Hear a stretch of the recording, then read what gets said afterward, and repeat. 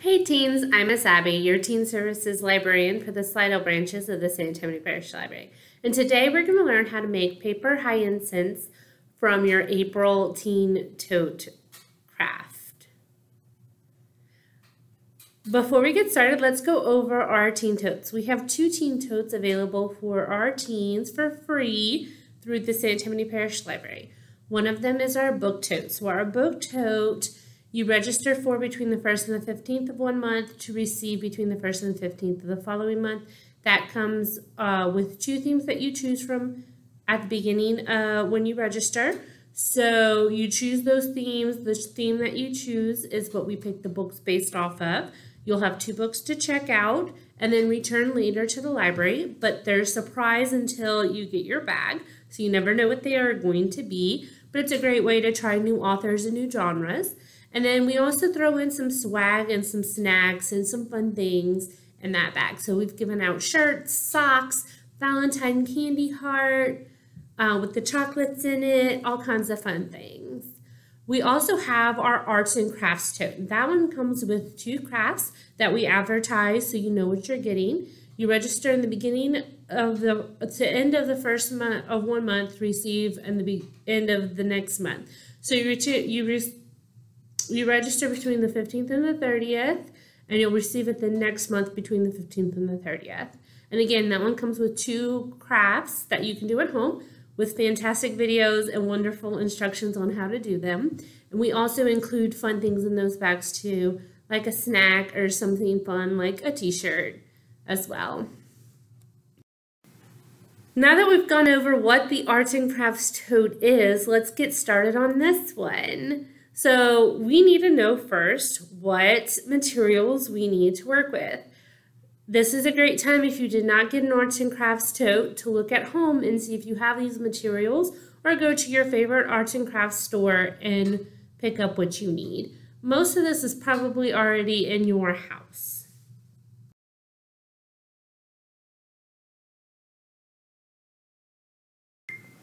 All right, so what we need to make our paper hyacinths are first some instructions. If you did not get your arts and crafts tote, you do not have these, but you can watch this video and learn how to do it. A pencil. I have a wooden dowel, but anything slender and round, even your pencil would work. It's just a little bit thick. If you can avoid using that, be perfect. Or the end of a paintbrush, something like that. Uh, this is a chopstick. I have a popsicle stick, but that's just to help spread my glue. If you got a coat, uh, your glue is in a little container, so this is to help spread that glue. I have a little ruler. I just printed a little paper one because I didn't have a real one. That works just fine. A pair of scissors, not included in your bag.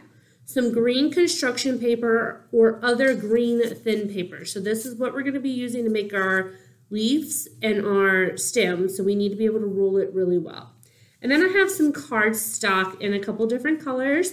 This is just a two by eight, um, so two inches wide, eight inches long, same as my green construction paper for the long one, and the small one is two by three.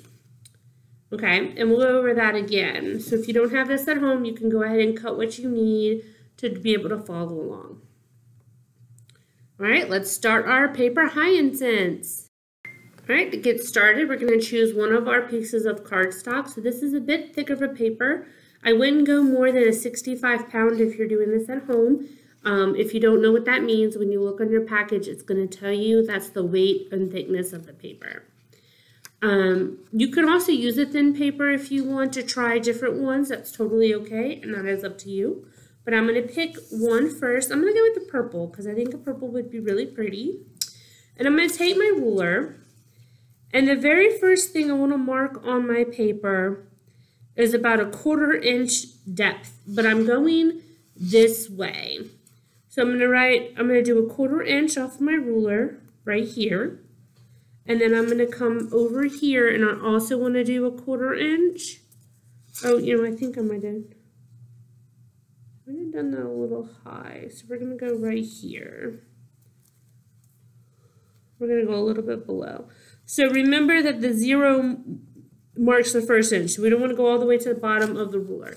If you got a bag from me, you got one of these paper rulers. You're welcome to use your own personal if you would like, but I'm just coming around and I'm going to go in a couple different areas so I can connect my lines in a mostly straight line. It doesn't have to be perfect, but I would like it to be mostly straight.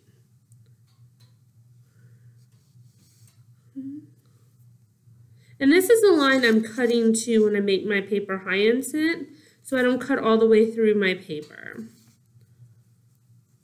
Hmm. And then I'm going to use my straight edge again, and I'm going to come down and connect my lines very lightly. It doesn't have to be dark. It's just so that I can see where I need to stop.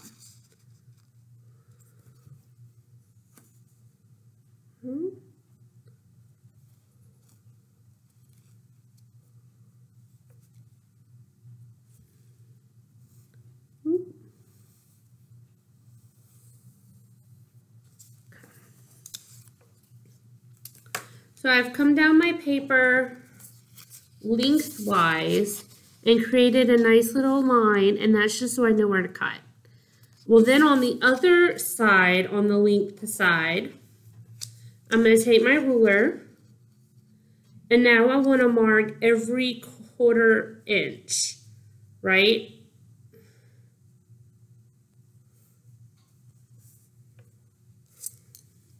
So every quarter inch is where I'm going to be cutting.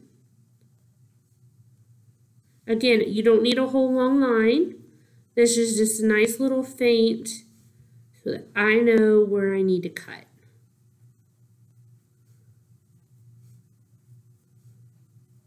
And you won't be able to see any of these markings when we're finished. So I'm going down all the way to the end. So of course I have to move my ruler because I didn't, I don't have an eight inch one. So I'm going to match up my zero with the last line that I made so that I can make sure that everything is still a quarter of an inch. And again, if it's not completely perfect, that's okay. Petals on flowers aren't always perfect. All right, so I have my markings all made. So I have my long line and then I have my short little dots every quarter inch. And then I'm going to take my scissors and on every one of those, I'm going to cut down to that long line that I made. But I'm not going to go past that line. I'm going to stop right at that line. And that's so that my petals don't fall off the flower and I have something to roll onto my stem. Okay. So keep you a nice steady hand and we're going to go all the way down this length of paper for every cut. Just like that. So as you can see, I have my cut started. I'm going to go ahead and finish this and then I'll be back with a finished cut went and got myself a little stir straw because I was having trouble with this. Um, one thing we definitely need to remember is as we go, adding a little bit of glue. The glue you have is a very quick dry glue, so you don't want to add a lot at a time. Just a little bit is good, and we're going to do a nice thin layer. So that's what the popsicle stick is for, is to be able to um, smear it out so it's not super thick. So we don't want it squirting out of our flower. All right, and we want to roll it from a diagonal from one of the corners so that when we're done, we'll have a nice long stem. Okay, try to keep it as tight as you can. Here's some of that glue down. Okay. Oh yes, this is much easier to do now that I've added a little straw for myself. And I'm going to add a little more glue. So some of my popsicle sticks, so I'll use a little bit of that, but I think I need a little, another dollop.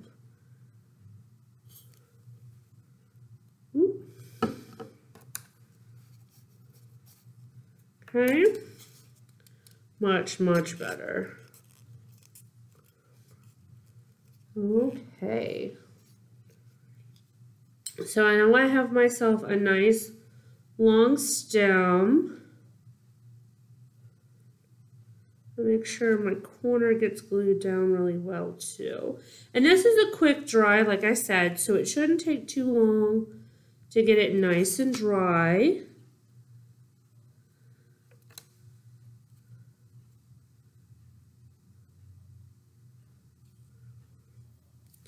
All right, so we're gonna set our stem to the side.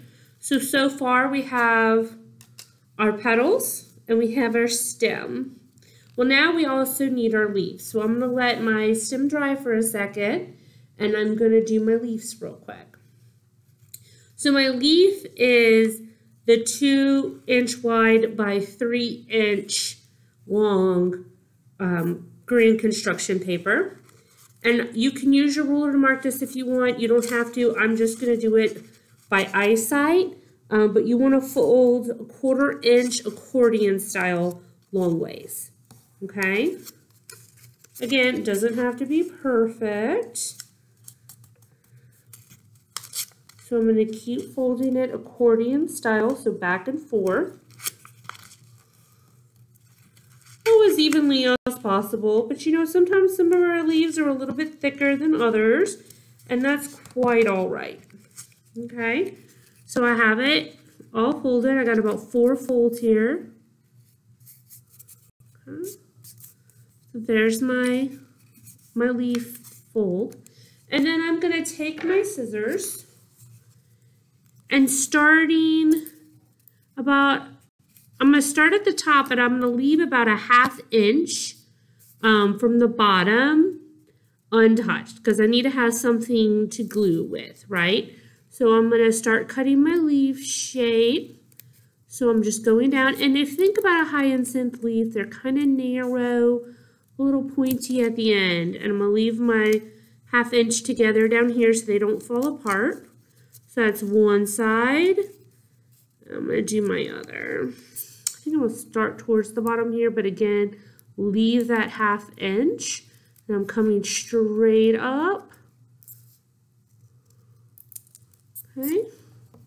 So it's going to kind of look like grass a little bit. And that's what I wanted. This one didn't go down as deep as I need it to, so I'm going to cut it a little bit more. Eyeball your leaves, see what you like, what you don't like. That's all okay. Right, so now I have my leaves, my petals, and my stem. So the next step is to put it all together. So I'm going to take my hyacinth and I'm going to start wrapping it around my stem. And I want to start at the narrow end of the stem.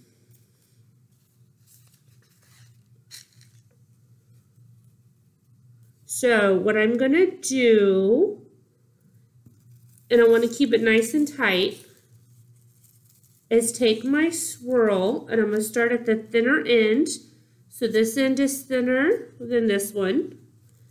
And I'm going to go on the back end here and I'm going to start wrapping. So before I do that, I'm going to put a little bit of glue on my petals on the flat, the bottom end that I didn't cut. And you can kind of use your pencil line for this. Because again, the pencil should be on the back of it. And I'm going to start at the top and I'm going to start wrapping. And I want to keep this a little tight. Okay. And it will dry quickly. So be careful with it, work quickly. Whoop, whoop. If you need to hold it for a second so it can adhere to the stem, that's okay too. You are working with paper, so sometimes paper can be tricky.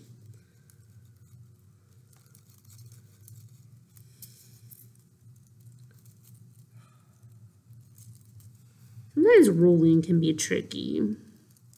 And of course, the curls are going to get kind of in the way, right? So you want to keep wrapping with the curls right underneath each other. You don't want to have to be fighting the curls.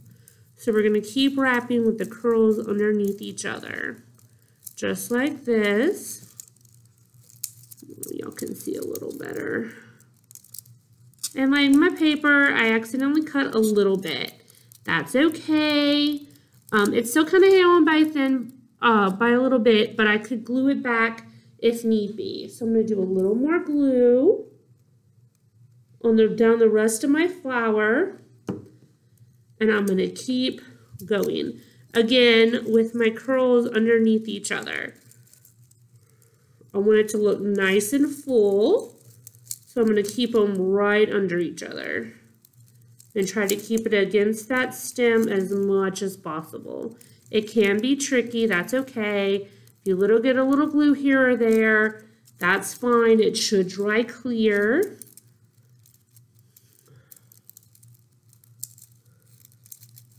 Okay.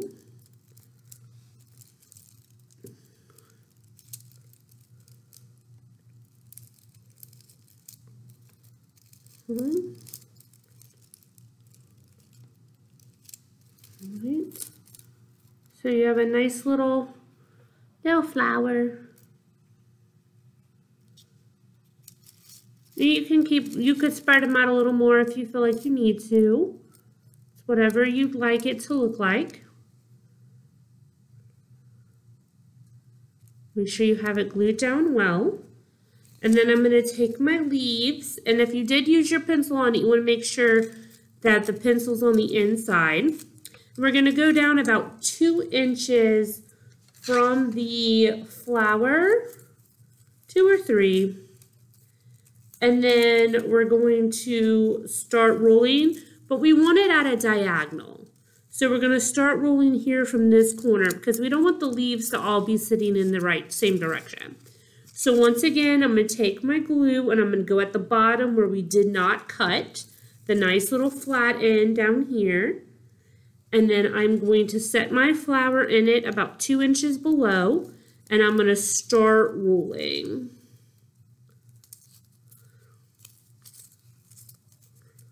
Okay, and my leaves should start kind of poking out a little differently and look a little more full than if I just had five five little leaves.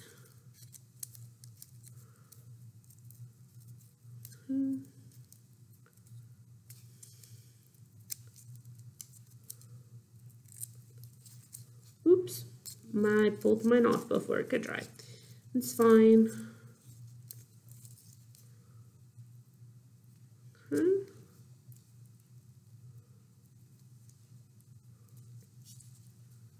Right, and there is my little hyacinth. So you can make a whole bouquet of these for mom for Mother's Day, or you could put like a pin in the middle of the construction paper and have a bouquet of pins. Um, you could do a lot of things with these. Have fun with these look on your desk or on for your mom. It never dies. So Mother's Day is in May if you're looking for something to do for her. Just a fun little decoration for spring. Thank you for joining me in making our paper hyacinths. Look how pretty that is. I do love my purple. In making our paper hyacinths, and I will see you this summer for teen summer reading. We have lots of crafts and fun all summer long at your St. Tammany Parish Library branches.